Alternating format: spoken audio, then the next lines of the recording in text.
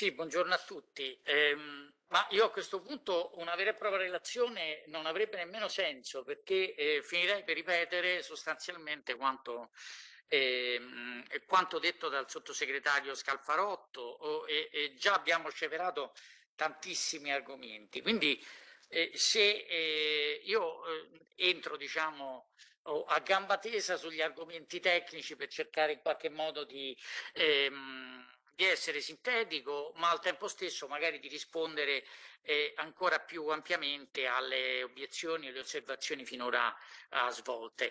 Ehm, formazione degli elenchi degli italiani all'estero. Questo è un problema che si è posto da tanti anni e eh, devo dire che eh, sono stati fatti eh, eh molti passi in avanti. Ehm, credendoci e soprattutto facendo colloquiare sempre di più i comuni con i consolati. E, quindi il Ministero dell'Interno eh, col Ministero degli Esteri, i consolati con i comuni. E, mh, al di là delle eh, eh, in, in, modo scevro da gelosie amministrative di parte e, abbiamo lottato per decenni per, farli, per far colloquiare i comuni con i consolati e devo dire con una certa soddisfazione che abbiamo ottenuto dei grandi eh, progressi. E il sistema provo a sintetizzarlo brevemente, credo che possa essere utile e interessante. Eh, mh, come voi sapete eh, eh ci sono 70 giorni per fare le elezioni politiche da Costituzione e, e noi però abbiamo quella clamorosa spada di Damocle del termine del sessantesimo giorno antecedente la votazione per l'invio dell'elenco provvisorio degli elettori residenti all'estero e, mh, al Ministero degli Esteri. Quante volte da parte politica ci è stato detto ma perché avete bisogno di 60 giorni?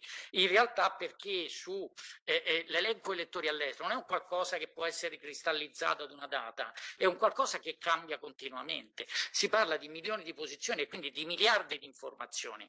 Quindi è, un, è, una, è, un, è una difficoltà enorme dal punto di vista tecnico e informatica. Detto questo, noi eh, procediamo ad un allineamento prima del sessantesimo giorno antecedente, cioè prima talvolta paradossalmente di sapere qual è la data delle elezioni politiche o dei referendum, cosa che purtroppo per l'elenco elettori impatta perché nell'elenco elettori vanno solo i diciottenni e quindi i diciottenni alla data della consultazione, quindi è mh, veramente terrificante come, come, come, mh, come adempimento amministrativo. Noi abbiamo i dati del Ministero dell'Interno con quelli degli schedari consolari.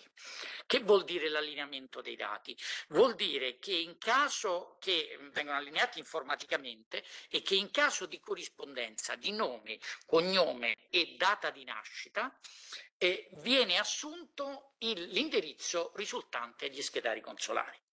Questo perché e, e, e, abbiamo dovuto convincere i comuni di questa cosa, ma d'accordo con i colleghi degli esteri.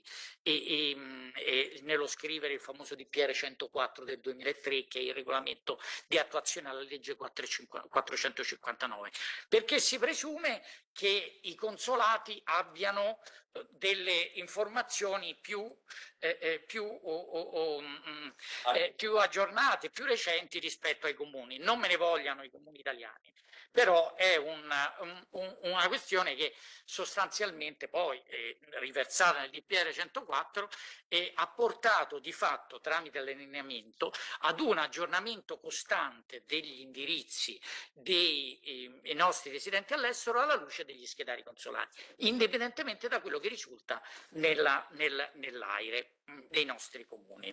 Detto questo, al sessantesimo giorno non è finita là, noi diamo un elenco provvisorio ai consolati. Perché si chiama provvisorio? Penso sempre da DPR 104.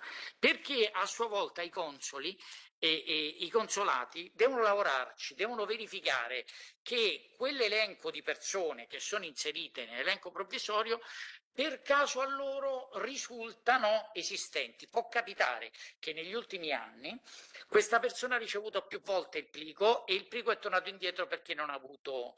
In questo caso noi attribuiamo una facoltà ai consolati, di fleggare questa posizione, e cioè di surgelarla, scusatemi il termine, e non inviare il plico per tutte le persone che tendenzialmente loro ritengono essere in quel momento irreperibili all'estero. E questa è un'attività molto complessa e anche di grande responsabilità da parte dei consolati, che però noi come Ministero dell'Interno, pur avendo diciamo, eh, eh il, la barra del, del, del sistema, pur avendo la competenza in materia anagrafica, abbiamo voluto conferire, d'accordo con i colleghi degli esteri, ai consoli, perché obiettivamente hanno un quadro della situazione più aggiornato. Paradossalmente cosa avviene? Che ci sono delle persone che sono residenti all'estero ma che si spostano all'ultimo momento. Allora a quel punto, d'accordo con i colleghi degli esteri, facciamo fleggare quella posizione come consolato di Brema, in ipotesi, sappiamo che è andata ad Hannover e viene ammesso al volo al voto ad Hannover, proprio per attualizzare fino all'ultimo queste situazioni. Questo vale quindi per il sovrappiù, cioè coloro che risultano magari elettori ai comuni italiani, ma ai consoli non risultano in quel momento reperibili. Per coloro che invece vengono omessi dall'elenco elettori c'è tutto un altro sistema che magari risultano, risultano presenti al, al, Ministero degli Esteri, ma non sono iscritti in anagrafe, quindi per la legge italiana non avrebbero diritto.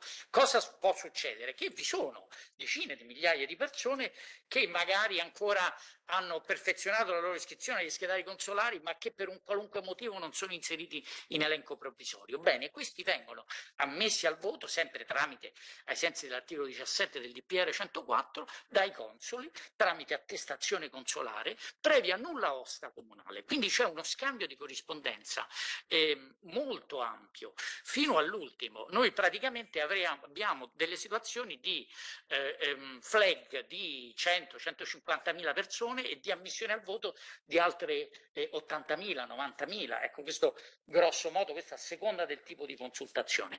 Quindi è un grosso movimento che tende ad aggiornare l'elenco elettori fino all'ultimo. È, è, chiaro che se, se, io non mi sono registrato, nessuno sa che sto lì, è difficile poter, poter pretendere. Certo, in caso di opzione inversa eh, ehm, sarebbe più semplice perché eh, si fa domanda e si, magari si dichiara l'indirizzo, nemmeno la residenza, perché poi molti sono domiciliati magari in un posto diverso da quello di residenza, eh, oppure semplicemente eh, non ricevono il plico perché non stanno a casa in quei giorni. però è chiaro che il voto per corrispondenza presuppone in qualche modo una presenza dell'elettore nella uh, propria abitazione. Per quanto riguarda il doppio invio agli elettori e del certificato elettorale, io credo che i colleghi del Ministero degli Esteri non sarebbero molto d'accordo e tra l'altro mi segnalano che molto spesso i nostri connazionali all'estero eh, fanno confusione, quindi si ricevono più plichi eh, si agitano, chiedono ai consolati, quindi questo cre può creare anche una certa disaffezione da parte degli, degli, elettori che potrebbero non capire questi doppi o tripli invii, oltre a costare ovviamente eh, tantissimo. E, ehm, per quanto riguarda gli errori macroscopici nello scrutinio, io a volo uccello eh, cerco di, di, tappare un po' le falle. E, ehm, sì, certamente uno scrutinio centralizzato in un'unica sede dell'ufficio centrale della circoscrizione estero crea oggettivamente confusione. E, secondo noi eh, si poteva anche già prevedere in passato, pur mantenendo le schede eh, nel territorio romano della provincia di Roma, più sedi eh, che, che, avrebbero evitato oh, il trasporto, il trasbordo di milioni di schede in giro per il territorio nazionale. Però ehm, nella loro autonomia i presidenti degli uffici centrali per la circoscrizione estero non hanno mai voluto individuare più sedi per un discorso di controllo e di vigilanza. E adesso sono state individuate con decreto legge queste quattro sedi decentrate. Ehm, se proprio dobbiamo parlare di qualche criticità, ehm, io modestamente sollevo la problematica di smistamento di questi milioni di schede eh, eh, nelle varie eh, nelle quattro sedi e, e smistamento che deve essere fatto anche in tempi brevissimi e che può comportare degli errori e, cioè quello che può andare a Bologna magari va a Milano e quindi deve essere in tempo eh, eh, velocissimo trasbordato nella, eh, nella sede nella sede competente. Aggiungo per esperienza che come al solito c'è sempre qualche problema sul piano voli, i colleghi degli esteri sono bravissimi ma non possono certamente controllare tutti i voli mondiali, c'è il Covid, ci sono gli scioperi, ci sono le emergenze. Quindi eh, eh il, eh, lo spacchettamento va bene, eh, ma c'è questa criticità, non è, è, la panacea di tutti i mali. E speriamo di evitare eh, ehm, problematiche. sappiate però che la diffusione dei risultati provvisori potrebbe avere una maggiore lentezza eh, eh, perché lo spacchettamento comporta questo. Certamente potrebbe esserci un maggior ordine e non ci potrebbe essere quella confusione di plichi, quindi, ehm, però c'è il problema logistico che le quattro corti d'appello non hanno, gran, non hanno per nulla esperienza di organizzazione di queste cose, quindi vanno, vanno informate, vanno formate devono trovare i locali e non è facile. E, e tra l'altro adesso, oh, oh, voglio dire, ormai eh, gli eventi si organizzano con un anno di anticipo eh, in Italia e quindi farlo in 45 giorni era probabilmente impossibile. E, e questa, questa, è una cosa che è stata da noi segnalata, era impossibile farlo per i referendum e, e per, proprio per il reperimento pratico magari di locali idonei per eh, l'utilizzo eh, di, di, di, seggi.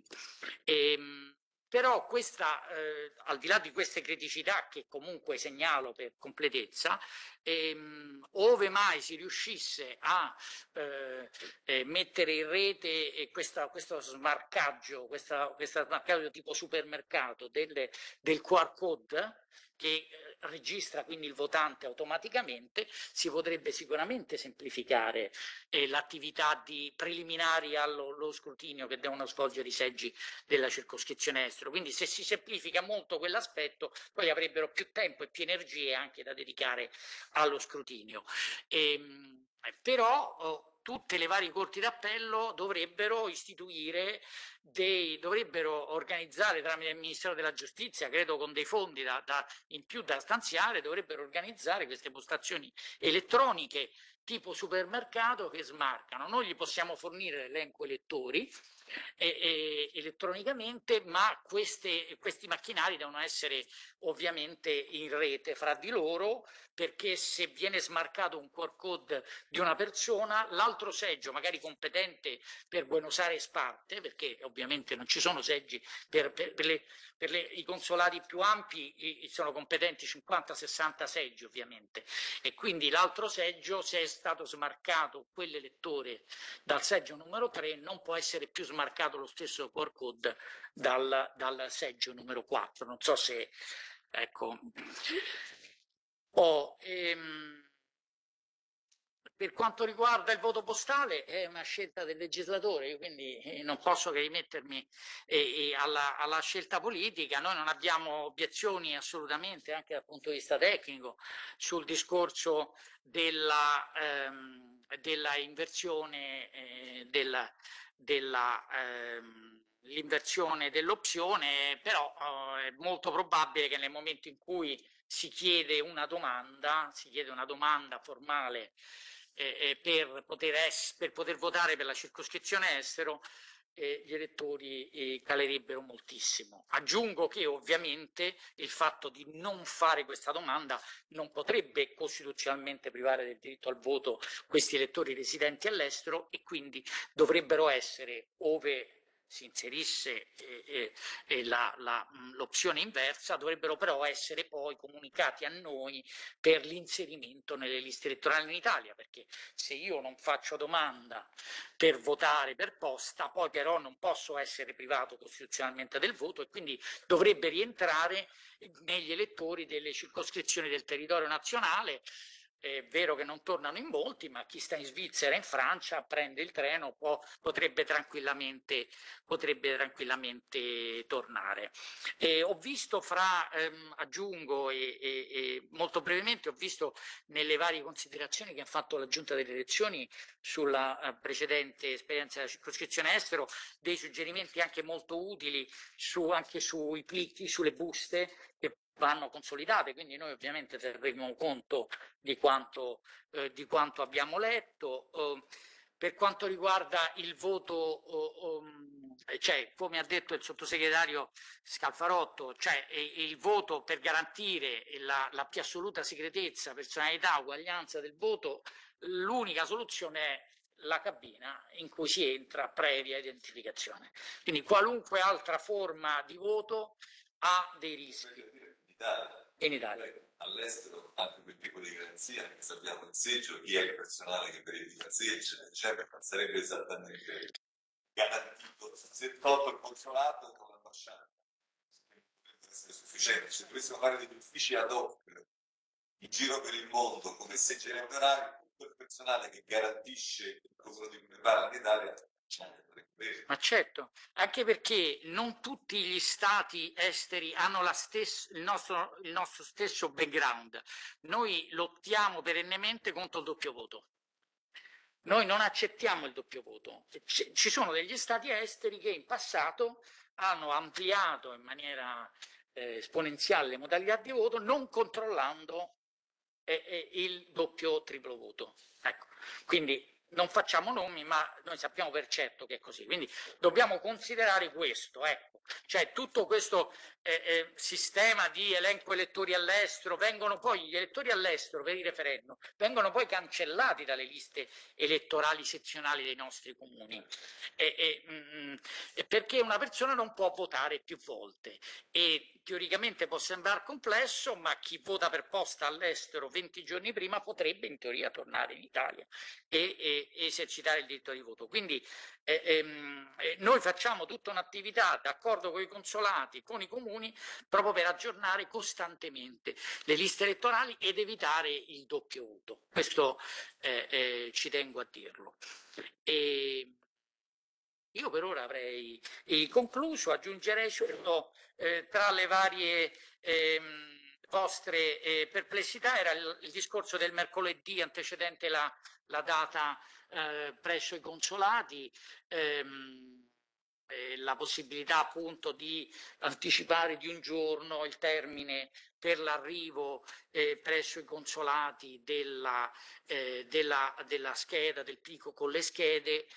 Consideriamo, per carità, è una valutazione anche politica, dal punto di vista tecnico eh, non posso che dire che più anticipo quel termine, più c'è il rischio che debba incenerire più, più schede. Se il sistema finora sostanzialmente ha funzionato col giovedì e, e, quindi il martedì è sicuramente troppo, eh, troppo anticipato, come eh, ha detto il sottosegretario Scalfarotto, il sistema, il procedimento elettorale delle politiche è estremamente compresso, quindi un giorno è fondamentale. Noi abbiamo un solo giorno per fare le schede elettorali e i manifesti, perché dentro il plico ci va anche il manifesto con le liste elettorali, perché se no l'elettore non sa cosa votare, non sa a chi poter esprimere e a chi poter dare la preferenza.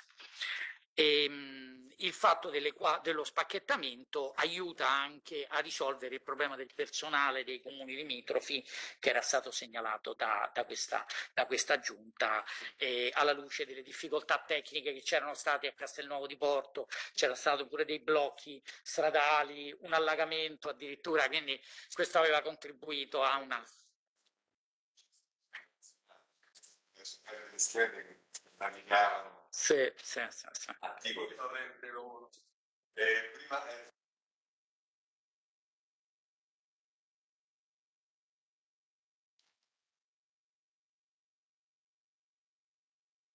Onorevole Siracusa, prego. Sì, grazie, non la sentivo più. Grazie.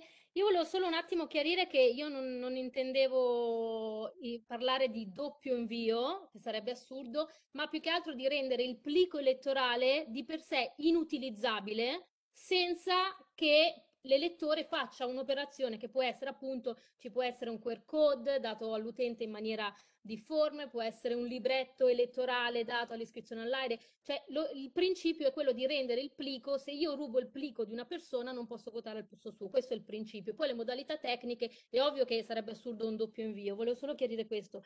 E poi lei ovviamente nel suo intervento penso che abbia reso molto bene l'idea della fatica che delle operazioni per preparare il, il, voto degli italiani all'estero. E non è una fatica che viene fatta una volta ogni cinque anni, perché se guardiamo questi ultimi anni abbiamo avuto le elezioni politiche del 2018, il referendum, il referendum costituzionale, quest'anno avremo un altro referendum costituzionale, l'anno scorso abbiamo avuto le elezioni del Comites, quindi anche quello è andato a contribuire a, a, a pesare sul lavoro dei consolati la, eh, ci saranno le elezioni politiche eh, del 2023, quindi è un'operazione che probabilmente deve essere fatta eh, più volte in cinque anni sostanzialmente.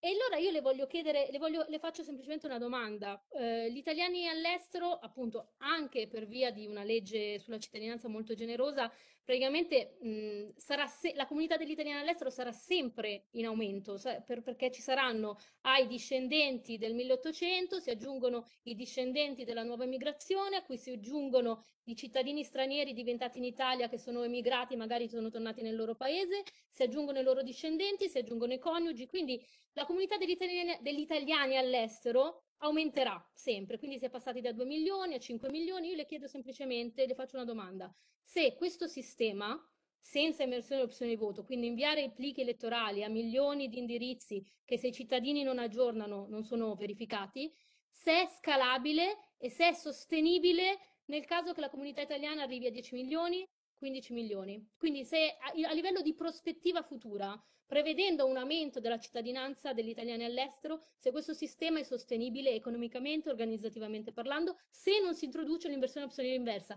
che vorrei dire anche qui, un conto è il principio, un conto sono le modalità con cui si, si, si applica, nel senso che nulla vieta al Parlamento di decidere che una volta che un elettore si iscrive, rimane iscritto finché continua a esercitare il proprio diritto di voto. Se dopo dieci anni che il paese, l'Italia, invia il plico e l'elettore non vota, allora si disiscrive dal, dal, dal registro degli elettori e torna a votare in Italia. Quindi questa è una soluzione, tra l'altro, proposta anche da uno degli auditi delle scorse settimane, da un professore audito nelle scorse settimane. Quindi ecco, volevo solo farle questa domanda, se secondo lei è sostenibile qualora la comunità degli italiani all'estero dovesse arrivare a 10 milioni, 15 milioni, che non è così folle. Onorevole Siracusa, eh, se posso Presidente? Uh, Prego, onorevole Fontana. No, eh, onorevole Fontana, poi vuole farla subito la domanda o aspettiamo... Perché così poi rispondiamo sempre. È, è semplice la, la, mia domanda, anche perché nasce da una sollecitazione che ha, che ha um, fatto la, l'onorevole Siragusa, che secondo me ha colto nel, nel pieno eh, una delle questioni che si sono anche rilevate eh, dalle, dalle, analisi e dalla, dalla, valutazione dei ricorsi che fa, sono stati fatti negli anni dalle giunte di Camera e Senato, e cioè quello della personalità del voto della garanzia della personalità del voto. Ed è un, un qualcosa che eh, io auspico che possa essere valutata la questione dell'opzione inversa, ma comunque anche stando questo sistema, se ci fosse un, un, un, meccanismo che consentisse alla persona, e quindi non è una doppia eh, spedizione, ma è un, la possibilità di ricavare il famoso codice che viene inserito e oggi viene spedito insieme alla, alla busta della scheda, eh, se l'elettore lo, lo potesse ricavare direttamente da sé con, facciamo l'esempio, lo SPID, e a quel punto noi avremo la certezza che anche meccanismi di gestione del consenso, di associazioni più o meno lecite che hanno gestito, eh, come abbiamo letto dei ricorsi, eh, il consenso in, questo, in, queste situazioni estreme che abbiamo visto, bene, con questo si stroncherebbe al, al, alla, alla radice pur mantenendo questo sistema. Quindi questo può essere anche messo in relazione al lavoro che il Ministero dell'Interno sta facendo sulla digitalizzazione della tessera eh, di, de, elettronica, delle, scusate, della tessera elettorale. Quindi questo potrebbe essere un, un, campo dove si potrebbe sperimentare in un tempo breve eh, questo meccanismo, proprio perché questo garantirebbe la personalità del voto, cioè io posso votare con la scheda che riceverò al mio indirizzo più o meno giusto, ma solo se sono io e solo se ricavo direttamente io quel, quel tagliando in maniera univoca con, con le credenziali che ho solo io stesso Onorevole Scalfarotto, prego. Sì, io volevo rispondere, rispondere io all'onorevole Siragusa eh, sulla domanda ipotetica. Io le dico la verità, onorevole, sono un po' restio a rispondere eh, a domande che si riferiscono a ipotesi eh, di cui non conosciamo la eh, effettiva, reale, eh, potenziale, futura realizzabilità, che si realizzino effettivamente oppure no.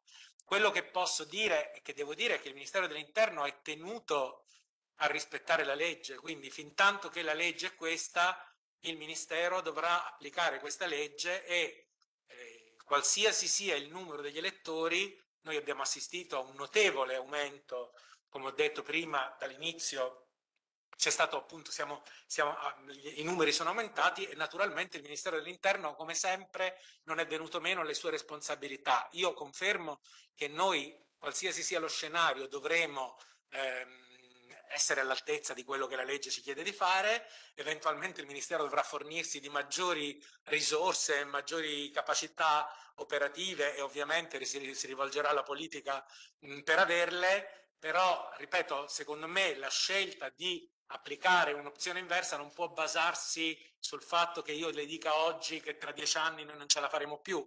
Se il Parlamento ritiene di approvare questa ipotesi, come ho già detto, da un lato otterrà sicuramente una maggiore semplificazione e snellimento del processo che non possiamo che guardare con simpatia, ma mi corre l'obbligo di sottolineare, come ha detto poi anche il prefetto Rano, che nel momento in cui l'onere di, appunto di, di esercitare l'opzione venisse eh, invertito, naturalmente questo darebbe luogo da un lato a una potenziale severa riduzione della partecipazione, di cui ovviamente dovremo tener conto, e anche io ringrazio il, pre, il prefetto Rano per averlo, aver completato il concetto, certo non si può privare del voto chi non esercita l'opzione, quindi bisognerebbe dare a chi non ha esercitato quell'opzione un ulteriore possibilità di votare e anche quello comporterebbe un aggravamento, quindi andremo a semplificare un processo, ma sicuramente ne andremo ad aggravare un altro. Certo. Non so, già che ci stiamo, volevo buttare là una piccola riflessione sul discorso dell'opzione inversa, sempre in un'ottica di eh, assoluta garanzia della regolarità del voto eh, è da valutare, non è una posizione assolutamente contraria a questo aspetto, però eh, lascio la valutazione.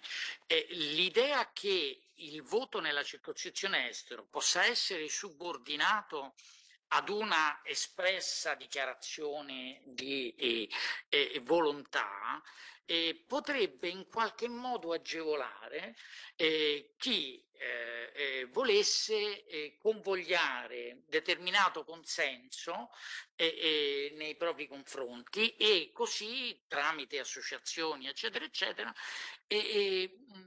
facesse la stessa associazione, la stessa domanda agevolando l'elettore, agevolando l'elettore e poi si precostituisse un pacchetto di voti poi da poter in qualche modo gestire. Scusate, è una riflessione eh, fuori dai denti, però è da valutare anche questo, cioè eh, una piccola complicazione burocratica che potrebbe essere utilizzata eh, da... Ne approfitto però perché vorrei su questo tornare.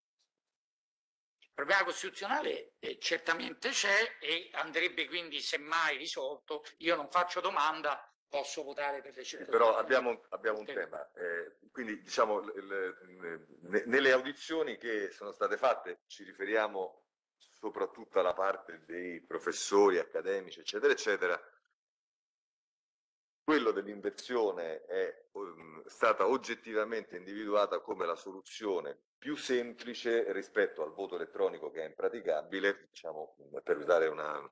e il voto in presenza all'estero che è altrettanto impraticabile. Perché nasce questo tema? Perché è giustissimo quello che lei evidenzia, però diciamo la Giunta non ha più potuto e noi siamo contenti di queste audizioni perché diciamo, è emerso qualcosa che tutti sapevamo e che forse non eravamo riusciti a mettere in modo così evidente, è che quello che in qualche modo però va garantito o interrotto è il fatto che la grande partecipazione la più o meno grande partecipazione non totalmente, ma in talune occasioni in modo consistente, è palesemente una votazione nella quale votano persone che non sanno di aver votato. Quindi adesso l'inversione possiamo pure archiviarla. Il problema è che però, secondo me, noi dovremmo trovare, lo dico parlando ai colleghi soprattutto più, ma chiaramente poi ci dovrà essere anche l'opinione del governo se dovessimo arrivare a qualche soluzione legislativa che non compete a questa commissione, però che compete alle forze politiche. Insomma, una volta che noi abbiamo scoperchiato e messo in evidenza tutta questa vicenda, non è che possiamo pensare che andiamo alle prossime elezioni politiche facendo finta di niente e sapendo che per non arrivare a, un, a, una problematicità come quella che lei giustamente metteva in evidenza, anche con la possibilità di aspetti costituzionali, però facciamo finta di non vedere che poi c'è intaccato in modo consistente tutto il resto. Quindi il problema è capire tutti insieme, tolto il voto elettronico perché comunque non è procedibile con le prossime elezioni, tolto il tema di organizzare seggi elettorali all'estero perché comunque diciamo non saremo nelle condizioni, eh? Ecco, non possiamo dare per scontato che rimane tutto cos'è, perché ormai siamo perfettamente consapevoli che com'è non va bene. Quindi probabilmente lo sforzo che dobbiamo fare è capire, non so se eh, i colleghi sono d'accordo, qual è qualcosa che però assolutamente bisogna fare per, eh, eh, perché abbiamo di fronte una realtà della quale non possiamo far finta che non, non ci sia. Io, se non ci sono, onore Siracusa. Sì, vorrei dire che appunto io l'unica altra eh, via principale che vedo è quella di rendere il voto personale, quindi garantire che il plico elettorale di per sé sia inutilizzabile, a meno che non ci sia una eh, identificazione dell'elettore con un procedimento diverso che non può essere quello di inviare un tagliandino nel plico elettorale che si invia all'elettore. Quindi secondo me questo deve essere il primo obiettivo, cioè rendere il plico inutilizzabile a chiunque lo trova per strada, lo ruba, lo compra. Questo qui. Su questo secondo voi c'era una strada percorribile? Lo dico, lo chiedo a lei, prefetto. Anzi, le faccio una domanda ancora più complicata. C'è una strada percorribile a legislazione invariata oppure comunque bisognerebbe immaginare una modifica legislativa? Ma non è una uh, problematica facile da risolvere, perché io se mando un QR code e il QR code viene eh, preso da un'altra persona, cioè il QR code mi agevola nella tracciabilità del eh, percorso postale. Eh, però è difficile, eh, si parla anche di, di, di, firmare, a parte che anche la firma in teoria può essere falsificata, non può essere firmata la scheda se no il voto diventa riconoscibile.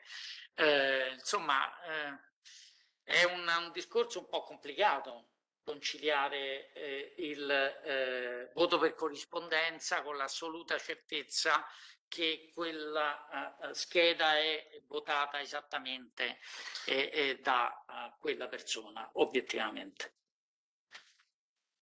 Va bene, direi che a questo punto possiamo ringraziare il sottosegretario Scalfarotto e anche il prefetto Orano per la eh, loro interessante comunicazione.